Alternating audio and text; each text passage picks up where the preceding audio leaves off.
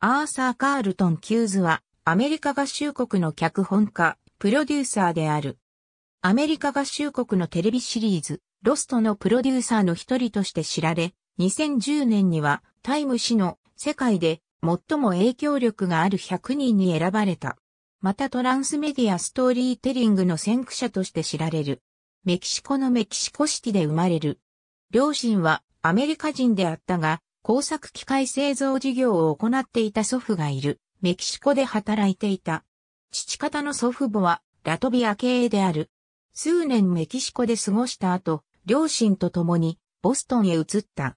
さらにその数年後にはカリフォルニア州へ移った。ローマカトリック教徒として育てられた。大学はハーバード大学へ通い、ボート部に入った。当初は医学部へ通うつもりであったが、アメリカ史に変更した。大学時代にパラマウント映画のフライングハイのテストスクリーニングに参加し、映画業界への興味を抱いた。同級生のハンス・トビーソンと組んで、ドキュメンタリー、パワー10を制作した。1984年にバーナード・シュワルツのアシスタントプロデューサーとなり、ジェシカ・ラング監督のジェシカ・ラングのスイートドリームに参加した1986年、友人のデビッド・ジェイ・バークの紹介により、マイケルマン制作総指揮のテレビシリーズ、クライムストーリーの脚本家として雇われる。脚本家のジェフリー・ボームとパートナーシップを形成し、彼がリーサル・ウェポンに、炎の約束、リーサル・ウェポン3、インディ・ジョーンズ、最後の聖戦に参加した際に助けた。1994年から1995年に企画したテレビシリーズブリスコカウンティジュニア秘球の伝説が放送された。ブリスコの後にキューズはドン・ジョンソンと会い、刑事ナッシュブリッジスを企画した。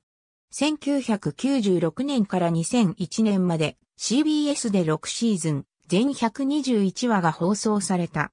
同じく CBS で1998年から2000年には、アーセニオ・ホールとサモハン・キンポーが出演するシリーズ、LA 大捜査線マーシャル・ローの企画、制作総指揮を務めた。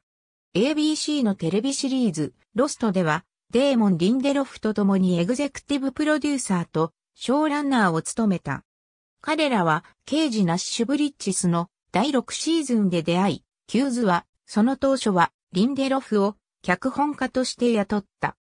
数年後、リンデロフは J.J. エイブラムスと共にロストのパイロット版を執筆した。ロストのパイロット版の撮影が終了した直後、エイブラムスはミッションインポッシブル3のために番組を降板した。